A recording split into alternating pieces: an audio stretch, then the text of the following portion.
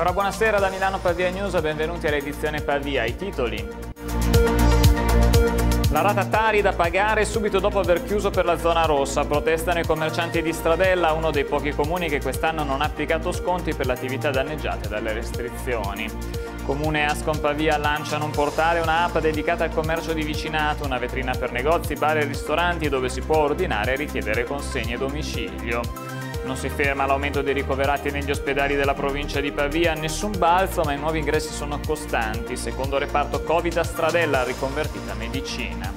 Sono sempre più i comuni che hanno scelto di pubblicare sui canali istituzionali il bollettino quotidiano dei contagi. La decisione aspetta i sindaci, molte le richieste dei cittadini.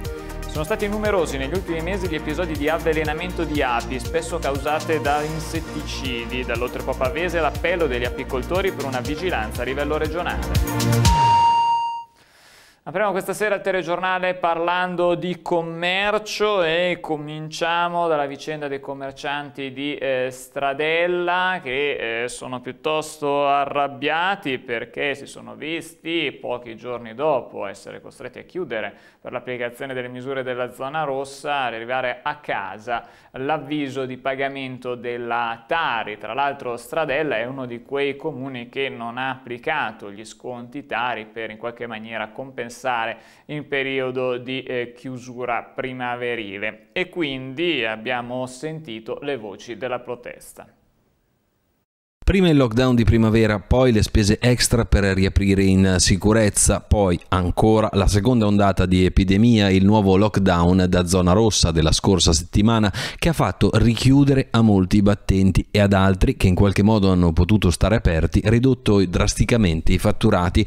Alcune categorie come i ristoratori hanno abbassato la Claire per 66 giorni in primavera che aggiunti ai 6 già trascorsi a novembre fanno 72 e ora i commercianti a Stradella come come altrove, chiedono al comune l'esonero della Tari, la tariffa per lo smaltimento dei rifiuti, almeno per i mesi in cui sono stati chiusi e quindi non hanno prodotto rifiuti, oltre ad altre forme di incentivi per il settore come i parcheggi gratuiti. Così Marco Viglini, storico imprenditore stradellino, oggi titolare di un ristorante stellato nel centro della cittadina. Mi devono spiegare quali sono i motivi per cui io debba pagare 5.200 euro all'anno o 5.000 euro, adesso non mi ricordo, vado a spanne, di rifiuti quando per quattro mesi io sono stato impossibilitato a lavorare, sono all'incirca 400-450 euro al mese, quindi voglio dire è l'affitto di un appartamento, di un bel appartamento perché devo buttare 450 euro per un servizio che si fa pagare il comune ma in realtà noi non abbiamo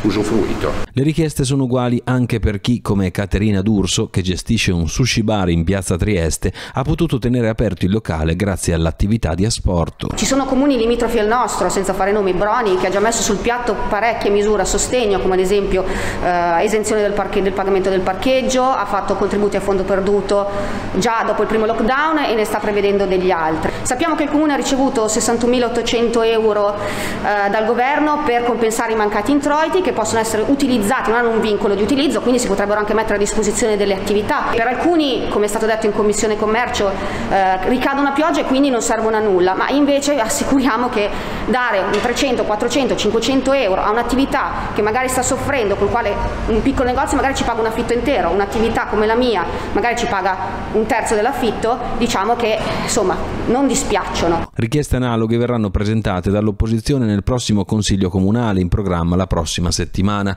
Nell'ordine del giorno depositato dal gruppo Alleanza Civica La Torre, l'ex sindaco Pier Giorgio Maggi, oltre allo sconto del 25% sulla Tari, chiede una serie di contributi a fondo perduto una tantum fra i 400 e i 500 euro per le imprese commerciali che stanno soffrendo per le restrizioni. Nelle ultime ore intanto un appello del tutto simile indirizzato al governo è giunto anche dall'ANCI, l'Associazione dei Comuni Italiani, che ha chiesto un'agevolazione generalizzata in tutta Italia proprio sulla Tari. Ci auguriamo che il governo e il Parlamento forniscano i fondi necessari, ha detto il presidente dell'ANCI De Caro, con la tempestività che la situazione richiede. Molte attività hanno chiuso a causa dell'entrata in vigore delle misure della zona rossa, però ce ne sono altre che di fatto hanno smesso di lavorare anche prima. È il caso a Pavia dei bar e dei ristoranti che basano la loro clientela soprattutto sugli universitari. Ricordiamo che eh, la frequenza per le lezioni in presenza delle, delle, delle lezioni dell'Università eh, di Pavia in realtà eh, si era quasi completamente annullata, perlomeno da parte di chi non abita fisicamente a Pavia, che quindi poi andava eh, nei bar e nei ristoranti già da molto tempo prima che venisse dichiarata la zona rossa. Baristi, ristoratori ed esercenti più in generale sono tra le categorie più colpite dalla seconda ondata di contagi e dal conseguente lockdown imposto dal governo in Lombardia. Prima il blocco alle 6 del pomeriggio e ora la chiusura totale con la possibilità di lavorare solo con l'asporto. Troppo poco perché ha dovuto fare i conti con il primo lockdown. È il caso del locale Pane e Salame di Corso Carlo Alberto, proprio di fronte all'università, bar storico che ha da sempre lavorato soprattutto con gli studenti. Vuoto, università chiusa, si torna come a febbraio, gli studenti non ci sono e non c'è lavoro.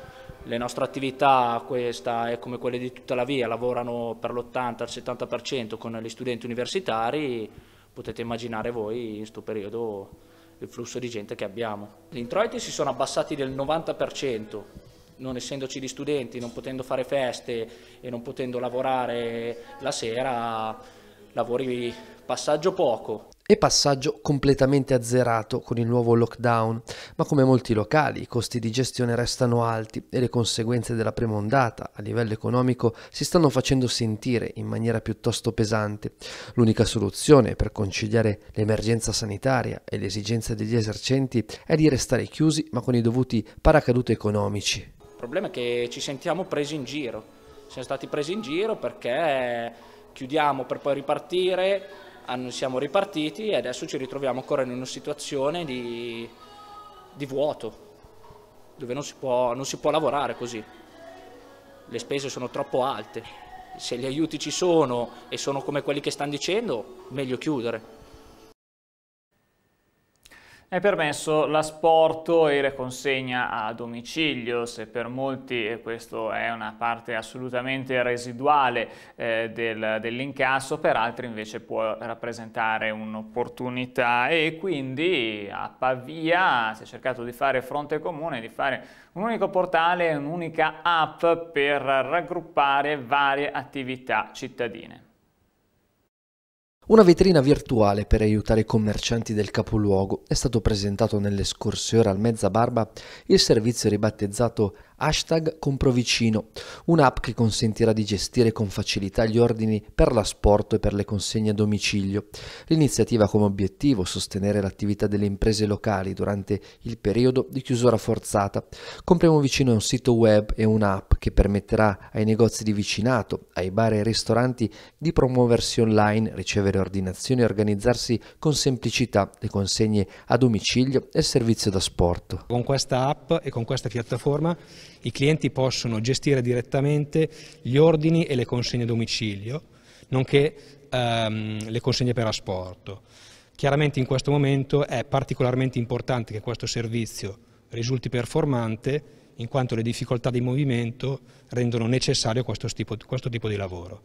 Quindi invitiamo i negozianti a informarsi, a scaricare eh, la relativa app che, dirett che trovano direttamente sul, sul Play Store e eh, invitare i loro clienti a fare lo stesso scaricando questa app.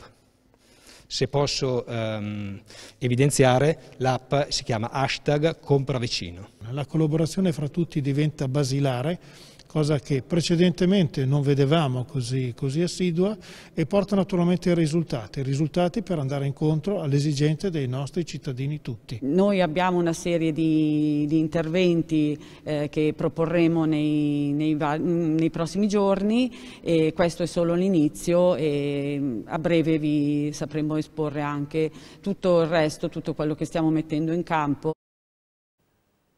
Due bar di Voghera, un negozio di frutta e verdura di Casteggio si sono visti recapitare un provvedimento di chiusura dell'attività per cinque giorni per aver violato le misure anti-Covid. Le sanzioni sono state combinate a seguito di una serie di controlli fatti scattare dai carabinieri. I militari dell'aliquota radiomobile hanno ispezionato due bar in corso 27 marzo in via Lombardia a Voghera, dove nonostante i divieti i clienti consumavano bevande in piedi sia all'interno sia nei pressi dell'ingresso dei due locali. Inevitabile la sanzione per i titolari particolari visto che la normativa consente solo l'asporto. I carabinieri della stazione di Casteggio invece hanno sanzionato un negozio di frutta e verdura di piazza Cavour dove non era esposto il cartello che riporta il numero massimo di persone ammesse e dato che al momento del controllo il negozio era pieno di clienti sono scattate anche diverse multe da 400 euro ciascuna per il mancato rispetto del distanziamento.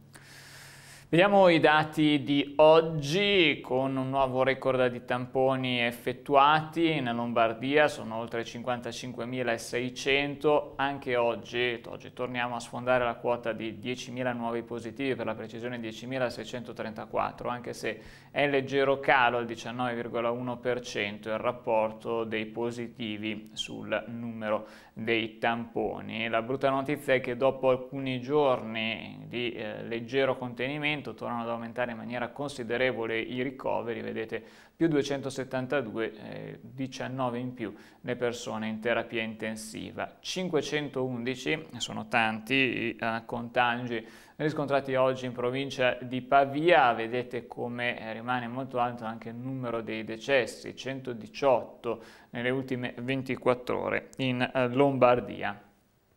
Questi dati della regione, ora eh, facciamo come sempre il punto sugli ospedali del territorio. Dopo il reparto di riabilitazione con 25 posti letto, di cui 21 già occupati, l'ospedale di Broni Stradella è pronto a riconvertire alla cura dei malati di Covid anche quello di medicina con altri 40 posti. La pressione sugli ospedali della provincia di Pavia, dettata dalla pandemia, è in moderata e costante crescita e a SST Pavia, che fino all'ultimo ha tentato di mantenere il piccolo ospedale dell'Oltrepo Covid-free, ha dovuto cedere e riaprire alcuni settori per fronteggiare l'emergenza e il dato principale principale che si registra nei nosocomi dell'ex azienda ospedaliera pavese impegnati nella lotta al coronavirus, dopo che nei giorni scorsi a Voghera e Vigevano sono stati riaperti 12 posti di terapia intensiva.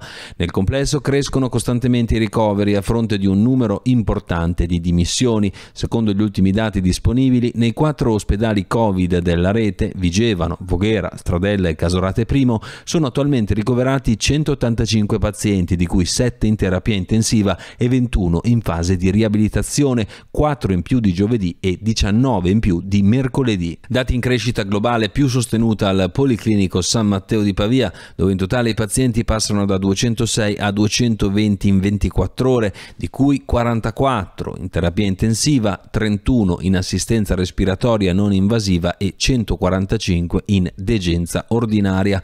Notevole rispetto ai giorni precedenti il numero dei nuovi ricoveri che si attestano a 20 pazienti a fronte di 10 pazienti dimessi e 4 che purtroppo non ce l'hanno fatta. Intanto, visto l'acuirsi della crisi, un primo gruppo di medici e infermieri specializzati provenienti in particolare dal San Matteo, ma anche da Maugeri e a SST Pavia, da lunedì si occuperà a rotazione della gestione di un modulo di terapia intensiva all'ospedale di Milano Fiera. Diverse novità nelle ultime ore anche sul fronte della gestione dei contagi e delle persone positive che non presentano sintomi gravi ma che devono potersi isolare per il tempo necessario. Tre strutture a Pavia, Montebello della Battaglia e Salice Terme hanno aderito al bando di ATS per diventare Covid Hotel che ospiteranno persone in quarantena o che attendono il tampone negativo ma come detto non possono garantirsi il necessario isolamento presso il proprio domicilio. Tutti in quarantena i frequentatori e educatori dei centri diurni disabili di Pavia. Tutto è partito dalla positività al Covid di una persona che frequenta una delle tre strutture presenti in città, dato che gli operatori eh, sono attivi in tutti e tre gli istituti, in forma prudenziale il Comune ha deciso di interrompere tutte le attività che quindi proseguono solo online. Si stanno effettuando i tamponi agli educatori e frequentatori. Non appena si avrà l'esito si potrà tornare naturalmente alle attività in presenza. La comunicazione ai cittadini dell'andamento dei contagi in, nel proprio comune. Sono molti i sindaci che si prendono uh, la briga, visto che uh, ATS uh, for non fornisce il dato comune per comune, di essere appunto i sindaci stessi a fare da tramite con, con i cittadini, descrivendo l'andamento del contagio, anche se da comune a comune si seguono procedure diverse. Divulgare i dati sui contagi nel proprio comune oppure no? Regione Lombardia fornisce il dato complessivo dei 10 comuni con il maggior numero di contagi per ciascuna provincia, in assoluto e in rapporto alla popolazione. I sindaci però hanno la password per accedere al portale di ATS con tutti i dati. Alcuni scelgono di condividerli attraverso canali istituzionali, altri preferiscono fare diversamente. Per limitarci ad alcuni esempi in Lomellina, Robbio e Cilavegna forniscono il dato sui contagi quotidianamente. Il bollettino di Cilavegna è molto accurato e riporta anche il numero di persone in quarantena. Adorno e Mede i sindaci pubblicano un videomessaggio quasi tutti i giorni in cui forniscono numeri dei contagi, tendenze e altre informazioni. Seguono invece una cadenza più o meno settimanale nei loro videomessaggi i sindaci di Mortara, Sannazzaro e Cassonnovo. A Vigevano dall'opposizione si sono segnalate nelle ultime settimane varie sollecitazioni al sindaco perché fornisca il bollettino dei dati. È intervenuta in questo senso Italia Viva, mentre il Movimento 5 Stelle Stelle ha presentato una mozione con cui si chiede di istituire una sezione del sito internet del comune con tutte le informazioni sull'emergenza Covid, compreso il bollettino almeno settimanale dei contagi. Cosa spinge un sindaco a decidere se pubblicare o meno i dati? Con la giornata di giovedì il sindaco di Tromello ha deciso di iniziare a fornire il bollettino quotidiano, spiegando la scelta in una lettera ai cittadini. Facciamo molta fatica, sono le parole di Gianmarco Negri, a scrivere di numeri, perché per noi non siete numeri ma nostri nostri concittadini e concittadine. Ci siamo però accorti che spesso vi interrogate sulla situazione e questa è la risposta che abbiamo ritenuto essere più opportuna.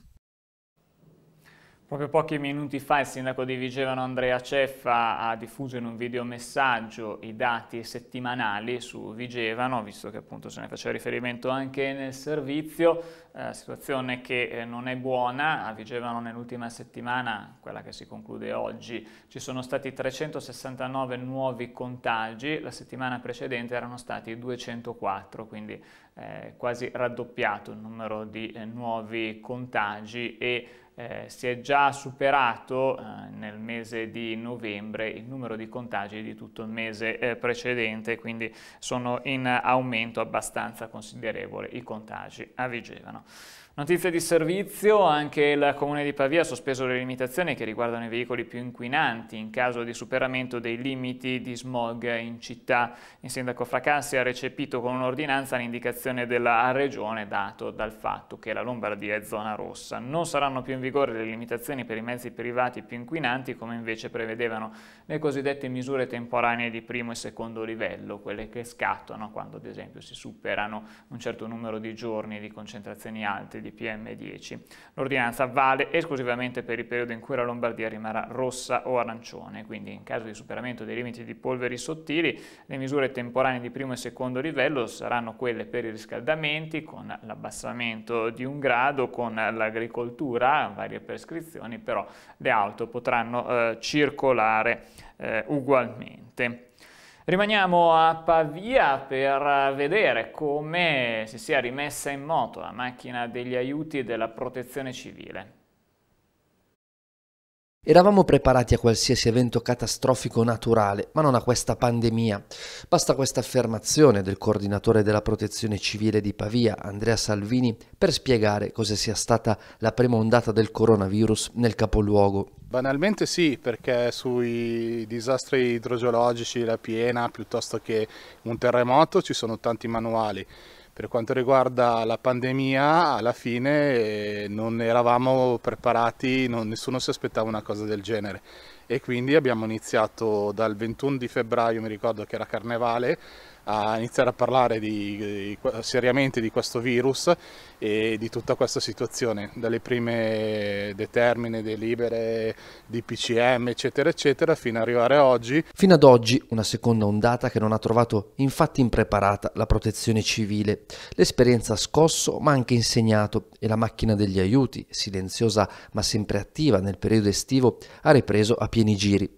Dalla fine di ottobre con la consegna a domicilio di cibo e medicinali alle persone in quarantena, mentre dalle scorse ore agli over 70 soli e senza aiuti, dal lunedì al venerdì dalle 9 a mezzogiorno. Siamo ritornati a occuparci del centralino del, del, del, del centro operativo comunale per rispondere alle esigenze dei cittadini ultra settantenni con, senza rete familiare, senza avere eh, familiari che possono dargli una mano, senza avere una rete di amici che lo aiutano e, eh, e persone che purtroppo sono eh, state a contatto col virus, sono in quarantena o sono, sono chiuse in casa in attesa di tampone eccetera che ovviamente non possono uscire. Ci sono anche delle necessità legate eh, al, ai pacchi alimentari, ad esempio i pacchi, i pacchi, di sostegno, magari a quelle persone che in questo momento non sono nel, nel circuito dei servizi sociali, nel circuito della Caritas, perché eh, probabilmente sono in difficoltà contingenti causate proprio da, da, dalla situazione di pandemia e di chiusura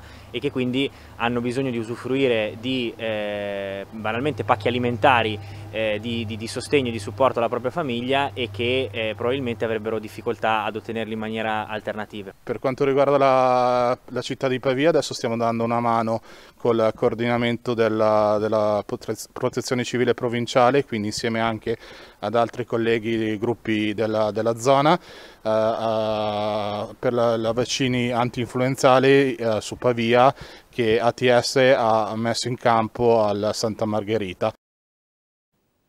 Ennesimo furto notturno al supermercato MD di Chignolo Po, si tratta del quarto episodio in quattro mesi, i ladri hanno utilizzato ancora una volta la stessa tecnica, si sono calati dall'alto dopo aver praticato un foro sul tetto e una volta dentro hanno fatto una massa di generi alimentari, in particolare salumi e formaggi. L'allarme è scattato attorno alle 4 dell'altra notte con il sistema che è collegato con la caserma dei carabinieri. Giunti sul posto però i militari non hanno trovato tracce dei ladri che hanno agito molto velocemente. Parliamo ora di apicoltura perché l'Oltrepò Pavese è uno dei territori leader in Lombardia per la produzione di miele. Quest'anno però si sono verificati diversi episodi di avvelenamento di api e proprio dall'Oltrepò arriva un grido d'allarme e una proposta. Le api riposano negli alveari in vista dell'inverno, almeno quelle che si sono salvate dagli avvelenamenti accaduti in questo funesto 2020, decine anche quelli avvenuti nel Pavese, quasi un migliaio in Lombardia, situazioni per cui molto di rado viene riconosciuto un colpevole, ma per il più drammatico avvenuto ad agosto nella pianura fra Cremona e Brescia, l'epilogo potrebbe essere diverso perché gli esperti chiamati dalle principali associazioni di categoria a svolgere verifiche approfondite sono riusciti ad isolare i principi attivi che lo hanno causato, due insetticidi potentissimi usati per trattare soia e mais e ora è scattato l'esposto alle procure interessate per individuare gli agricoltori colpevoli di questo disastro. Secondo Luca Bonizzoni, consigliere di Api Lombardia e titolare di una delle più importanti aziende apistiche biologiche d'Italia sulle colline di Casteggio, inoltre Po, è un fatto importante nella lotta a questi delitti contro la natura, l'ambiente e anche le tasche degli apicoltori. Provate a pensare di essere un allevatore di pecore eh, e di colpo avete 200 pecore in un, in un campo, di colpo di queste 200 pecore 140 muoiono. Abbiamo fatto intervenire le guardie forestali, abbiamo fatto intervenire eh, le ASL, eh, quindi il servizio veterinario e Diversamente che negli altri casi in cui non sapevamo esattamente perché le api morivano, in questo caso lo sappiamo esattamente. Per cosa si utilizzano questi insetticidi? Questi insetticidi siamo andati a fare delle ricerche e abbiamo verificato che si trovano in due prodotti, magari anche in altri, eh, che si usano come insetticidi per eh, trattamento del mais o della soia? Tra le proposte sul piatto, allora ecco una task force per velocizzare le indagini in caso di eventi simili e proposte per disincentivare l'utilizzo dei pesticidi. Negli ultimi anni, con il nuovo assessore, il dottor Rolfi, eh, abbiamo un'apertura verso l'apicoltura. No? Su nostra spinta, forse, forse eh, eh riusciremo a eh, avere una task force eh, che tutte le volte che ci sono dei dubbi di avvelenamenti intervenga, in modo che ci siano il servizio veterinario, ma anche il servizio fitosanitario, per fare dei campioni sulle api che potrebbero star, che, che, stanno morendo, ma anche su quello che si coltiva lì vicino. Per questo il fitosanitario è importante. Questo secondo me sono delle iniziative concrete che in futuro potranno eh, limitare queste terribili cose che avvengono contro le api. E con l'apicoltura si chiude questa edizione di Milano Pavia News. Vi ricordo in prima serata l'appuntamento in diretta con Cristina Colli e le regole dello star bene. Arrivederci e buona serata.